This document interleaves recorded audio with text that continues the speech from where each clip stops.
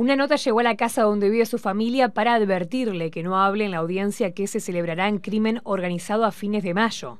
Dicha instancia se desarrolla ante el pedido de procesamiento del fiscal Luis Pacheco contra MAD, pareja de Mónica Rivero, y NFR, hermano, por la comisión de un delito de lavado de activos en calidad de autores. Según supo subrayado, la carta dice que cierre la boca si no correría sangre y concluye que para la próxima empiezan a bajar gente. Ante la amenaza, fue solicitada la custodia para los familiares de Rivero. La mujer fue procesada el 28 de febrero por estafa y falsificación de documentos. Las maniobras que realizó durante 10 años significaron un perjuicio de 7.600.000 dólares y 1.400.000 pesos a la empresa, surge de la denuncia, según se indica en el auto de procesamiento. Rivero declaró que el dinero lo gastó en viajes, compras, estadías y juegos de azar en el Conrad de Punta del Este.